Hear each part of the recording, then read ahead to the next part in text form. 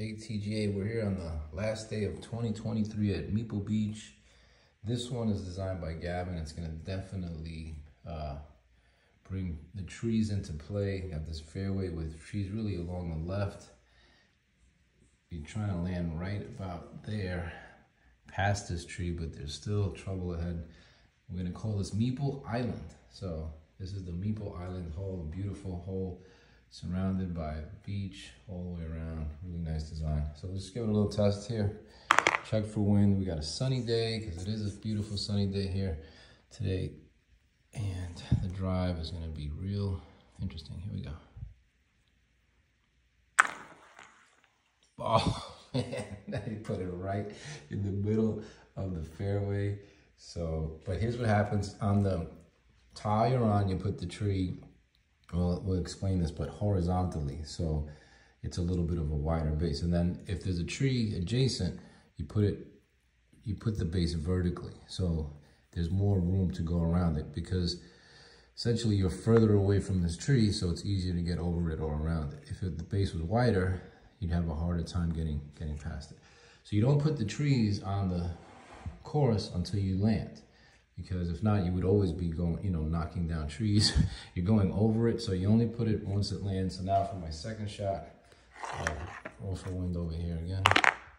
This time I have a strong wind, and it's gonna be going hard to the right. So I'm gonna come around, can't reach. So this will be for a birdie two. And then we'll see now, see? So I have room to go around on the right, this goes right in the center and vertically, like I said. Um, but not a lot. And if you touch the tree, the ball gets knocked down.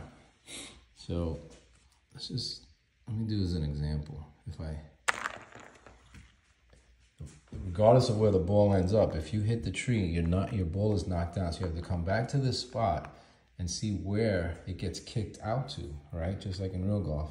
So you do you roll the weather die again, and light wind means it's one space in whatever direction you flick. So it would be here, up and to the right. Luckily, it was just one space, because if you roll a strong wind or a gale wind, there would be two spaces, so it could put you on another tile. So if I hit the tree, it would be one space up and to the right. Now, see this graphic? This is still all the trees. So I'm technically still in the trees, which means I have to hit left hand middle finger out of the trees and my max fly is three. One, two, three. So I can't even reach the hole. I'm gonna have to try to land it there. So this would be real tough. You don't remove the tree either, so make it a little more difficult. You know, hitting close to this tree. Ah, I'm in the water. I'd have to drop.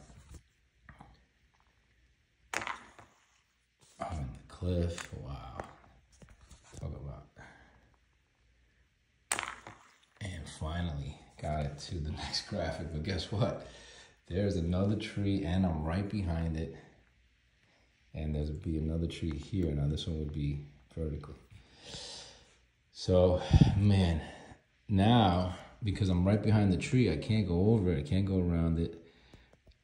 To play a draw or a fade, you have to hit the ball at least, according to the rules, is five tiles. We may adjust it to three tiles. So it's not like I could you know, draw it around this tree here either. It's just not enough, you know, it's just not enough distance. So I would have to literally pitch over here and then I would have a shot at the green. So on a course like this, I mean, you're really gonna make the players, uh, you know, really deal with the trees as you saw. But hey, listen, I think on a one hole or two, it's really cool to kind of, you know, make this kind of challenging uh, tree course. You, you could do something also like this. Sorry about the camera. But about myself here. But you could put the tree, you know, still on the fairway and still be trouble, but turn the tile off to the left and turn this one maybe off to the right.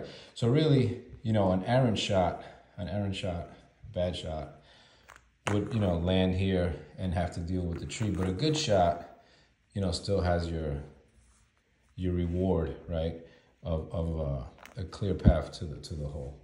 So you could do, you know, do something like that. I think I'd probably, you know, design it more this way. Um, and then this tree here, you know, you could also do the same thing, maybe put it a little bit more to the side. Because trust me, people are going to come up short right here, and this tree is going to be really in the way.